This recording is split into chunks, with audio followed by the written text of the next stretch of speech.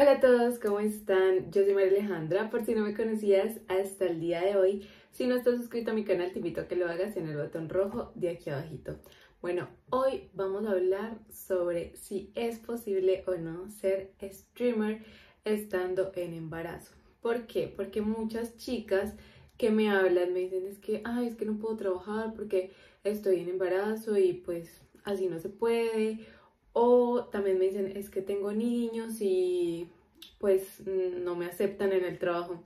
Y la respuesta que yo les doy es que en el stream hay espacio para absolutamente todo el mundo. Si ustedes se fijan, hay streamers que juegan, hay otros que tienen un talento, otros que venden contenido, otros que solo hablan, otros que cuentan historias, o sea, talentos como maquillaje, canto, baile, y que ustedes estén en embarazo o tengan un bebé o cualquier tipo de esas cosas no las como que exime o como que limita para trabajar como streamer.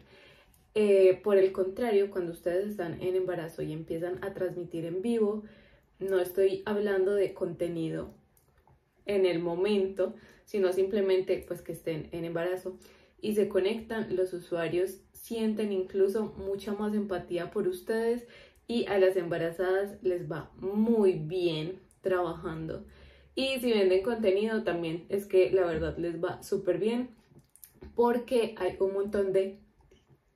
Entonces como que los usuarios, uno, sienten más empatía porque se les despierta esa parte como maternal o también curiosidad, maternal, no paternal, o también la curiosidad de saber como que, ay, estás con el padre o no, cómo pasó, ese tipo de cosas, te ven como un poco más vulnerable, por decirlo así, también como ese instinto protector.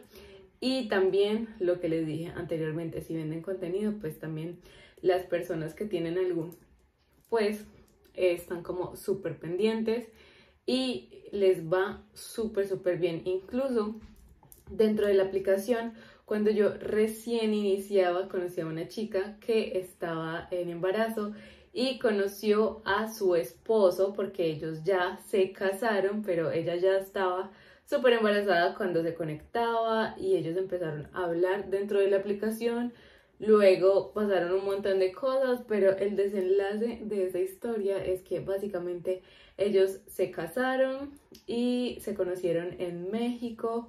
Luego ella creo que se fue para Estados Unidos y pues tienen a su hija, que él no es el padre porque él la conoció ya eh, pues en embarazo, pero yo sinceramente pienso que padre no es el que engendra, sino el que cría. Entonces tienen a su bendición y están pues muy felices con esto, no les estoy diciendo que es que se enamoren dentro de la aplicación porque eso para mí es un no, pero de que hay historias, hay historias y pues esta la conocí bastante pues cerca porque eh, la chica fue como que amiga mía mientras estuvo en la aplicación. Otra cosa de porque sé que a las embarazadas les va muy bien siendo streamer es porque en este momento estoy embarazada.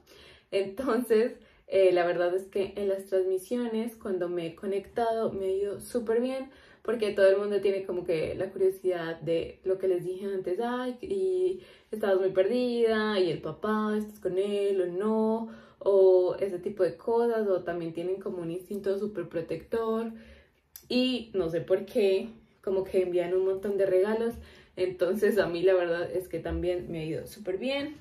Eh, entonces sí, la respuesta es va muy bien. Entonces, si ustedes están pasando por esta etapa, no tienen ni que retirarse ni nada. O si quieren empezar en el mundo del streaming también, son como que súper bienvenidas y la verdad yo les recomiendo que aprovechen y trabajen desde su casa, que pueden estar como que tranquilas con su embarazo y esto pero siempre facturando porque se viene una bendición que obviamente tiene un montón de gastos. Entonces es muy recomendado, además no es un esfuerzo, siempre están sentadas hablando o si venden contenido, pues ya eso será como un tema aparte. Pero sí, la respuesta es pueden ser streamer mientras están en embarazo totalmente. Y bueno, eso fue todo por el video de hoy. Espero que les haya gustado. Nos vemos la próxima.